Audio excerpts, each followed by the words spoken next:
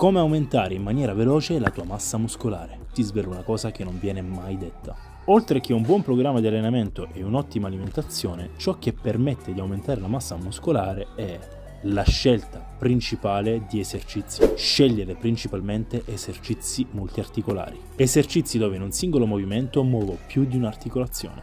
Questo genere di esercizi permette una risposta ormonale molto maggiore rispetto agli esercizi monoarticolari maggiore sarà il numero di muscoli coinvolti nel singolo movimento e maggiore sarà la capacità e la risposta di crescita del mio corpo.